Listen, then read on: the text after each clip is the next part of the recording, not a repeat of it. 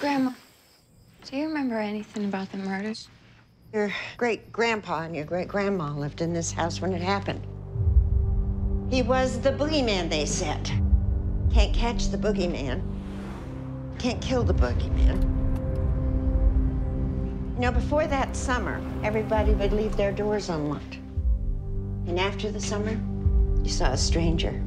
You'd run the other way. And now, he's back.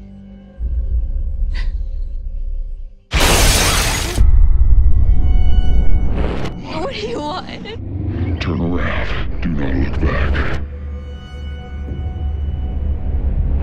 What are you doing? What are you doing?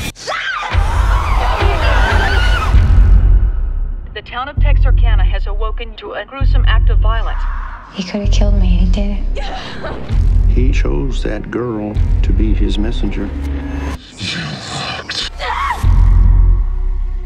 They couldn't catch me 66 years ago, and they never will.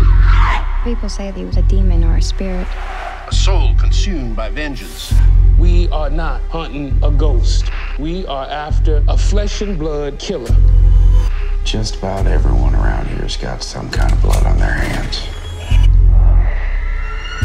He's gonna make the town pay for its sins. Some days turn out great, it's okay. Cause some days turn out bright, it's alright. I'm